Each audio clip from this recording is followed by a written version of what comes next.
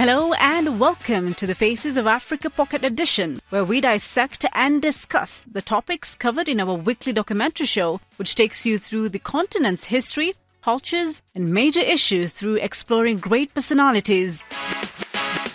This week on Faces of Africa podcast, we're taking you to South Africa. The documentary is called Born Survivor.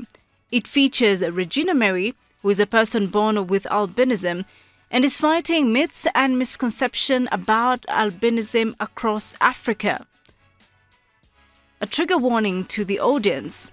This episode contains subject matter regarding to suicide and sexual gender-based violence. My name is Fathiya Mohammed Nur, and I have here Regina Mary.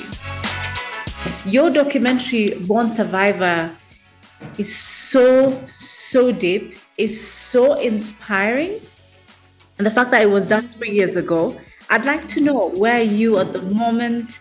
How's life taking you? Tell us about where you are. Survival was like the beginning of me having a platform that didn't just allow me to share my story, but more like to dig out every buried thing that has been septic in my life to a point where it's now out and after it being out it, it, it didn't return to me like oh my god how could you say that how how you know that makes that comes to you when you're thinking if I tell people I was raped 15 times, what's the first thing they're going to think about me? And you worry and you keep quiet. Mm-hmm. So basically, throughout my life, I I would have personal uh, conversations with myself and God, you know, said, you know what, nobody will ever know what I went through, you know, nobody will ever understand. Like I would be so bitter that a lot of conversations were internal with me. Mm-hmm. So when Born Survivor came, I feel like it was God saying, now you can talk. So having to speak everything out was like for me, it was like therapy to start with. You know, it was just like therapy that's number one. Number two, it was like a cleanser to keep everything just out, out, out, out, out. And to shame the devil because nothing negative came back. Number two, I got to have a conversation with my mom for the first time on the show, which was, you know, not easy, but that happened. Yeah. And, you know, today it's great, but that time it was a bit, you know, like rough because we both, we have never had the mother daughter relationship where we can sit down and talk about stuff, you know, we just bury things, you know. And in this case, not because she's a bad mother or anything. Also, I believe she went through her own abuse that she was never able to talk about. When I was growing up, um, there were those the spittings and the, the them callings. So I'm just I'm just wondering when when you were with me and at this age, um, how did that make you feel? To be honest with you, ne?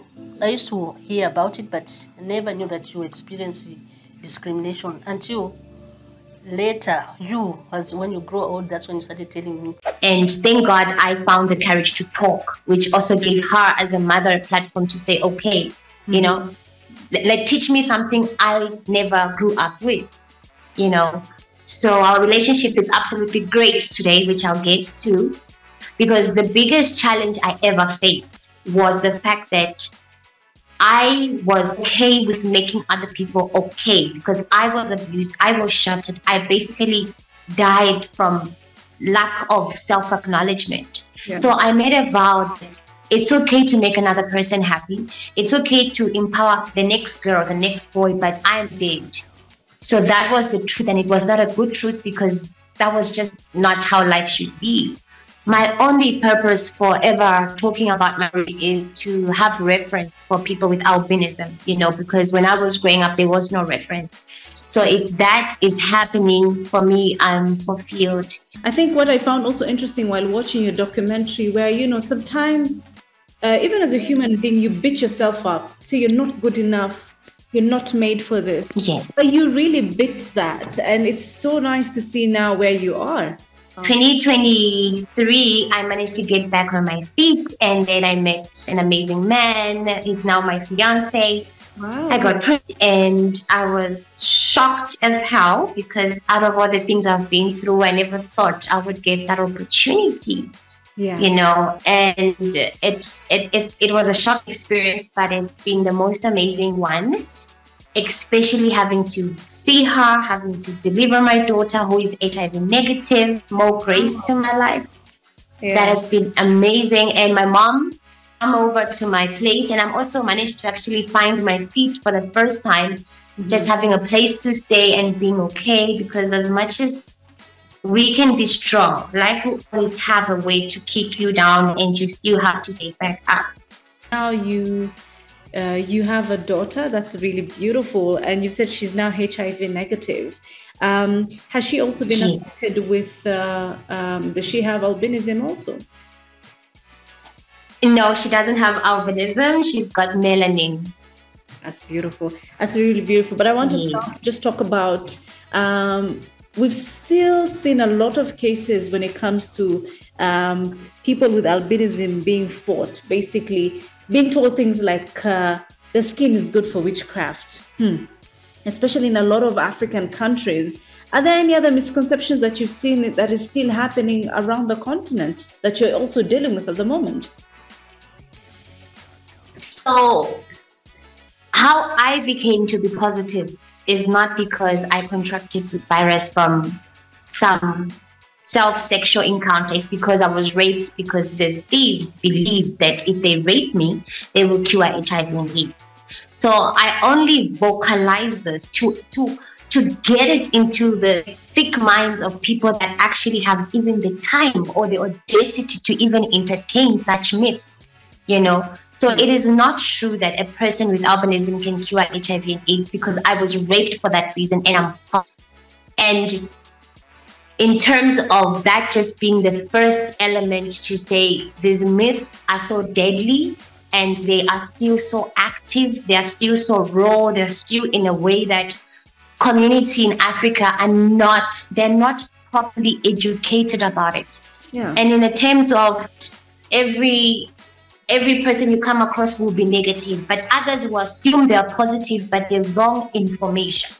I met an old lady that looked at me and said, You are beautiful. I had a friend like you. This is just a disease.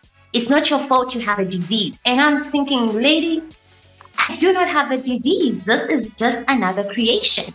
You know, the reason for my color is the lack of melanin. But now, just to, as we finish the, the, the interview, I'd like to know what are your aspirations uh, in the fight um, for the rights of people living with albinism? I always make sure that when I'm speaking on interviews, I'm reaching out to a larger community than just people with albinism, you know, and that's my first one. And my second aspiration is just to continue trusting that God says He knows the plans He has because I need to continue my voice albinism, the new era show. I I desperately want to continue. And every time I'm told you don't have this, you don't have that, that means not pursue this. And it's frustrating to me because end of the day, all that is needed is information to be everywhere. If information could be in the hospitals, wherever, I wouldn't even mind distributing it myself, but we do not have it in terms of visual, in terms of people albinism who can tell their stories, you know because it's not always the negative stories. There are people who have had parents who know how to take care of a child with albinism, and today they are lawyers, they're this, but nobody knows about them. So my aspiration is to make sure that I pursue my voice and fulfill the purpose I began. I need reference and evidence for any other child that is born out there, no matter what community says it's fine. They'll always go out there research albinism. They won't just find deadly or you're a curse. They'll find they'll find the story. They'll find that Regina is actually an actress, and they will know that it's possible to be what they want to be. So that is one. My second aspiration is to get the world to know about the deadliness of skin cancer for people with albinism and how I personally cannot continue losing people. I've lost two people who have died because I am so I just have a big heart that if you call me at 2 a.m. in the morning and you say you need help, I will get up and I'll come to you. So I've had two people die because the cancer had already spread and the information was not active at the time. So it's like my biggest aspiration. I pray and I know it has to come true is to have a documentary on albinism skin cancer in Africa so that people with albinism themselves can focus on care of their skin first before worrying about who thinks what about them. Because once the skin cancer starts, it cannot be stopped. Wow, that is incredibly beautiful. Thank you so much for making time. Thank you. Thank you. Okay. Bye bye. Remember, you can watch this documentary on our CGTN platforms. On Sunday, it runs live at uh, 12:30 East Africa time, 17:30 Beijing time, and 9:30 GMT. On Monday, it will be uploaded on our YouTube channels. See you next time.